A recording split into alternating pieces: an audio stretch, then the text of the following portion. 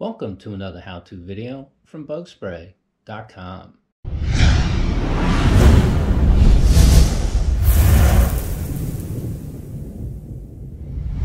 In this video, I'm going to talk about invisible bugs.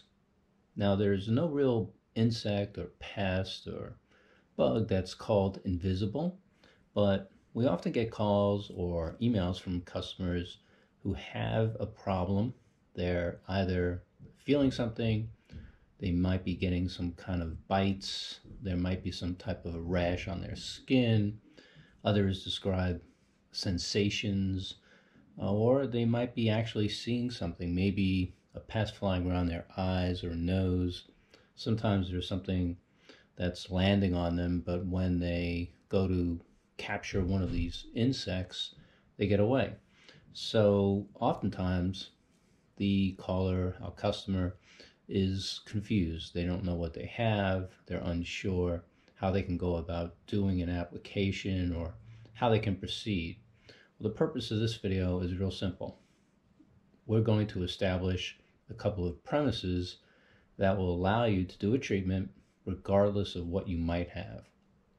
First and foremost, all insects come from outside structures. You either bring them in with something that you brought home from the grocer, maybe your pet goes outside and they get some fleas on them, or possibly some no-see-ums in the fur.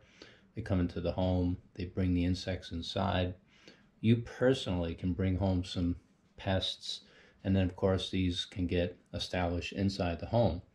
Once in the home, they can get into carpeting, furniture. In some cases, they can live in potted plants, maybe down a drain. There's a wide range of areas in the home where insects can thrive. But in some of these cases that we have from callers and customers, the exact source is not known and the exact insect is not known. Let's point out there are many different types of pests that can contribute to what we call the invisible bug problem. A good example would be something like a flea or possibly a dust mite. Dust mites clearly are very small, they're microscopic, so one might call them invisible, but they thrive in carpets and bedding, and from there can get onto people's skin and cause all kinds of irritation. Fleas will typically come from uh, carpeting, someplace where a pet has been active, and then when they are ready to bite and get a blood meal, they will hatch, jump on a person, get a bite, and then leave that person. So they don't readily stay on the individual. And let's also point out that many people don't have allergic reactions right away. So oftentimes you can get bit by insects and not even know that anything is happening because it takes a day or two for the reaction to occur. In other situations, people can feel something landing, and a good example of that might come from, say, a fungus fly or a, a phorid fly, maybe no-see-ums. These are very small insects, all of which are drawn to things like CO2, which would be our exhale. So these types of insects might come around our nose or eyes, maybe our mouth. And then, of course, biting pests that are seeking blood, such as mosquitoes and midges. They're targeting infrared or heat that mammals give off. But something like a thrip, which is commonly landing on people to extract moisture, maybe sweat, maybe some saline, uh, biting midges, for example. These are fast flyers. They can land, they can cause irritation, and leave without you ever seeing them. So, once again, the exact culprit can be very confusing and people get stumped. They're always wondering, what can this be? Another thing we hear from our callers and customers is that oftentimes there's only one individual in the home that's being targeted, and they always feel isolated or uh, being singled out, and everyone else doesn't seem to be having any of these problems. The reality is that this is pretty common. And a good example of this would be something like the wildebeest herds that roam in the Serengeti and how they are attacked by lions and cheetahs and very uh, a range of, of predatory animals that will feast on one or two individuals from a herd. In other words, they see one or two individuals. They don't see the whole herd. They're always targeting one or two, and there's a very specific reason for that. It could be odor. It could be that the individual is showing itself as being weak. Whatever the case might be, they're not going after all the animals. And the same is true with these insects when they get into a house. They will not target everyone. In some cases, everyone might be vulnerable, but in the vast majority of the problems that we help customers with, there's only one individual that's having an issue, and it's usually in one area of the home, but it could be all areas. So as stated earlier, the point of this video is to help give you a game plan on how you can treat a problem when you don't even know what the pest might be. So how can that be? Well, we're going to establish a couple of premises, and the first premise is that all pests are either crawling pests or flying pests. If they're crawling pest, they're going to be on carpets, they're going to be on furniture, they're going to be at ground level, although they can go up the walls and on the ceiling as well. But flying pests typically can occupy the air. So the treatments for these two types of problems are vastly different. If we're treating for a crawling pest, we need to treat carpets, we need to treat baseboards, and sometimes up the walls. If we're treating for something that flies, we have to treat the air in the room.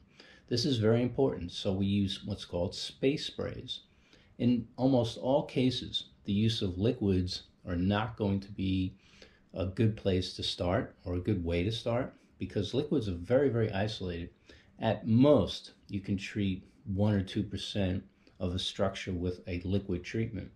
But if you're using an aerosol, you can pretty much treat everything. So the blanketing effect of the aerosol is more thorough and it allows you to eliminate any type of area that these pests might be active without going crazy. In other words, it doesn't take a lot of time or effort or cost, and you can quickly do a couple of treatments to see what you might have. And again, it won't even matter because the pest is either a crawling insect or a flying insect. And if you use one product, just one product like this multi purpose insect killer, you can literally treat all these areas. So let's say, for example, that you have a problem in a office or maybe the basement, and it's an isolated small area and you're not sure if the pest is coming from the carpeting or if it's something that's flying around in this room. This aerosol can treat up to a thousand square feet. It has a light cedar odor. So if you were to do an application, you would simply remove the cover there and then just lightly mist it out. You can spray this on fabric like furniture. You can apply it to carpeting and it would take you approximately three to five seconds to treat the entire room if you were treating the air. So for space spraying, if you had a room that was say 10 feet by 10 feet and 8 to 10 feet high, you would spray this in the middle of the room for three to five seconds and then you would re remove yourself from the room so that the treatment can float around and remain active, killing off anything that might be flying. If you're treating carpeting and you had a 10 by 10 area, which is 100 square feet, it would take approximately 30 seconds of spray that you're going to be distributing over the carpeting. And then again, you're going to remove yourself from the room so that the treatment can settle and dry and it will quickly kill what's in there. This one product alone is all you need to use if you're unsure of what type of pest you have. In other words, if you don't know if it's a crawling pest and you don't know if it's a flying pest, you just know something's there. Use this on the ground for carpets and furniture, and then use it as a space spray, and you will be eliminating everything that could potentially be. Now, what if the structure is large and you have a problem throughout the entire structure, and using an aerosol like this is not going to be so practical because it would require a lot of cans. Let's say the house is 2,500 square feet. Using a couple or three cans every time you have to treat would be time consuming and not cost effective. This is where an aerosol machine can become really handy. An aerosol machine is basically an automatic device and it works by adding a couple of batteries to it and then having it programmed, or I should say, uh, turned on so that it will work automatically. And in this case, I have the Aerosol 1000 machine. It takes two D cell batteries. And once the batteries are added and you have a can of clear zone inside here, all you have to do is turn the unit on. It will blink a couple times and that little mechanism will go off. And from here on out, this will release a half second blast of the clear zone every 15 minutes. This machine can be fitted with one can of the clear zone, left on, and set up on any type of a counter or wall unit. You can even hang it on the side of a, of a wall or door or something and just have it running continuously uh, to kill anything that might be in the air. So the clear zone would take the place of having to spray the multi-purpose insect killer all the time in the air. Just let this run around the clock. The clear zone is a pyrethrum-based material, so it evaporates quickly after five or 10 minutes. The treatment is gone, and this is why you need this constantly releasing a new blast every 15 minutes. Now, when I say blast, it's not a lot. You're not going to see anything come out.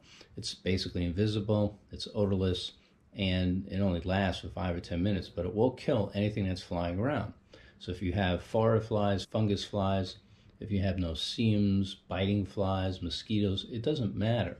This is going to handle anything that might be in the air that was or is the pest that's been causing the problems. Going back to the ground, what's the alternate option for treating carpets and furniture if you don't want to use the aerosol? The Bithor would be the next step up. Now this is a liquid, however, it's odorless. You would mix one ounce of that with a gallon of water and then using a pump sprayer, you can distribute that over carpeting and furniture and it will provide long-term control for anything that might be coming from the carpet, such as fleas or dust mites, uh, maybe oak itch mites. All of these pests can be controlled with the Bithor on the ground. We would still recommend using the space spray, assuming that you think you have something in the air. If you're 100% sure that the pest is coming from the carpet or the furniture, the multi-purpose insect killer is all you'll need. If it's a small area, again, if you're treating a large area, go with the Bithor. Side note regarding the safety on these machines and these products, the multi-purpose insect killer is water-based. It is actually labeled for use directly on dogs for fleas and ticks and lice. So you can use it directly on dogs. Obviously, you can treat your carpets and furniture with it. And when treating the air, give yourself 15 minutes to 30 minutes of letting the treatment settle, and then you can go back into the room and use the room. With the Bithor, treatments will be different. It's a liquid.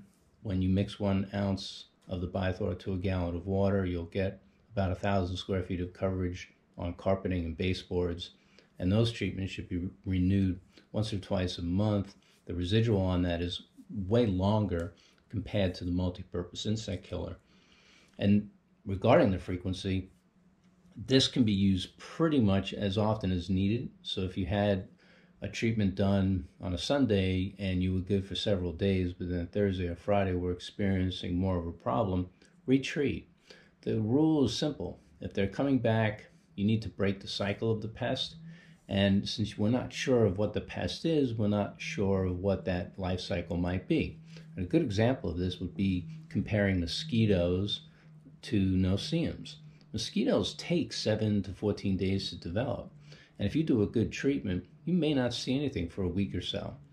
If you have no-see-ums that are rebounding, they will come back daily. A no-see-um's life is basically 24 hours. So if you do a treatment in the afternoon and kill everything that's there, you'll be fine for the rest of that day. But the following day, assuming that they're reproducing in the home or maybe adjacent to the home, they can then get into the house and be active the following day. So you may have to treat daily for a period of time to break that cycle.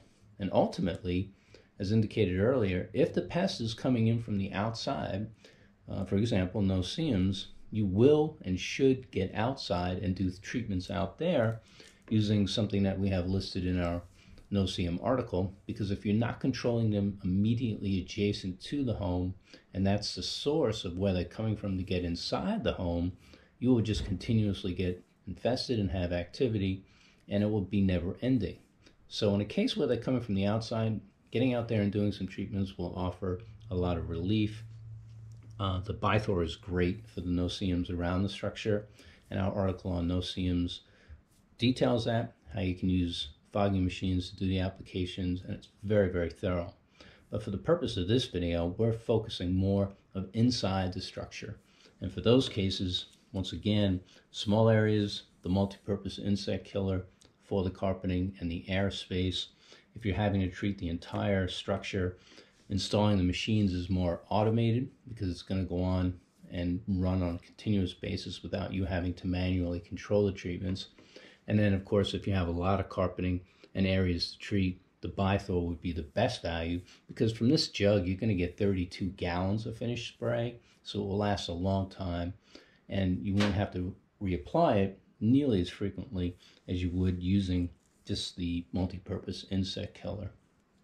So in summary, no matter what your pest problem is, meaning if it's a crawling pest or a flying pest, and it's isolated to a small area in the house, maybe around the TV in the TV room, maybe around computer stations, maybe in a bathroom, one or two rooms, the multi-purpose insect killer would be a great starting point.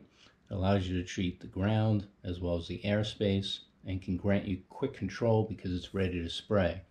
If the problem is uniform throughout the structure and you're needing to cover vast areas, you should consider stepping up to the aerosol machine with the clear zone to take care of the airspace. And then, of course, for the carpeting, go to the Bithor and it can be used safely on carpets and furniture for anything that might be coming from those areas.